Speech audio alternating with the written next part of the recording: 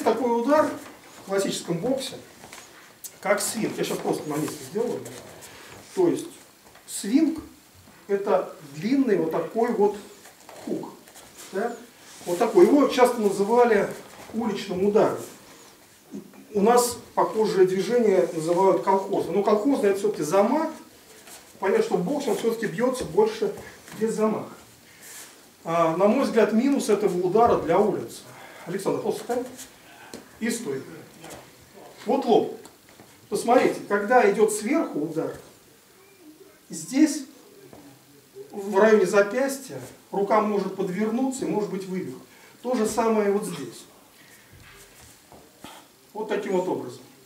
Как его бить? Его можно бить как кружка, да? но здесь то же самое, может быть вывих. И уж тем более, если убить классически, свин, то здесь вывих, особенно без обмотки, 100%. И многие боксеры так и говорят. И не бьют часто из этого свинг, что часто травмируется кисть, даже в перчатках. Его очень редко можно увидеть свинг. Вот. Хотя удар сильный, хороший. Да. Что такое оверхенд? Вообще не понятно, что это такое. Свинг не знаю. Я скажу, как мы используем похожую технику именно в рапт. В рапт у нас это удар прямой, то есть это смесь хука, свинга, да, длинного, и прямого удара. Как его можно использовать? Посмотрите. Например, если мне идет джеб, я ухожу под руку, и посмотрите, бью вот таким вот образом. Как бы он идет сверху, но движение идет прямо в результате. То же самое, если я ухожу сюда через руку, если мне рост позволяет, я бью его сверху через руку. Но, Александр, можешь просто ручку так? Вот так. Посмотрите. То есть я делаю, например, нырок, но удар идет прямо. Он не идет как хук вниз. Движение идет прямо. То есть если я отсюда ухожу, движение идет прямо.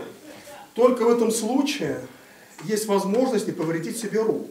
Если же я вот так буду э, мазать, да, таким вот движением, есть шанс повредить себе кисть. Естественно, я такие вещи могу делать только аккуратно, потому что фактически здесь рука не контролируется, потому что я ныряю.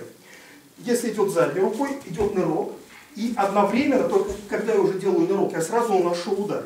То есть в этот же момент сразу идет. То есть я уже не вижу, я бью как бы примерно, где голова находится.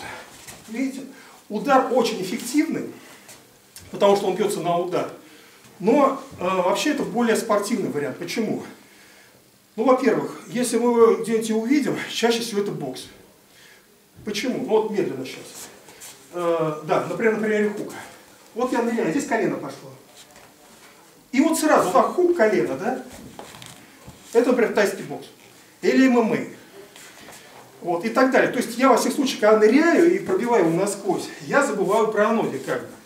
Можно его использовать? Можно, но это уже спортивный поединок. То есть мне надо рассчитать то, все, пятое, десятое. А на улице, ну да, можно. То есть, например, я принял решение, человек там пытается махнуть, я сразу ушел и нанес его. Можно. Ну только если я уверен, что удар пойдет рукой. То есть, например, я не знаю, какой рукой, левой или правой, да, я, например, решил его делать сразу сюда. То есть с уклоном и вот этот overhand. Да, можно.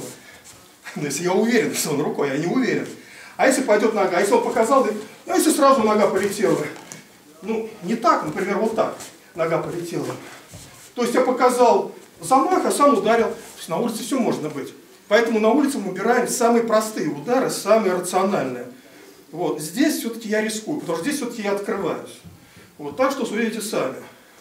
Можно аухенд применять на улице, потому что в Панутука у нас подход именно уличный. Или нет. Вот пару слов о аухенде. Спасибо, Александр.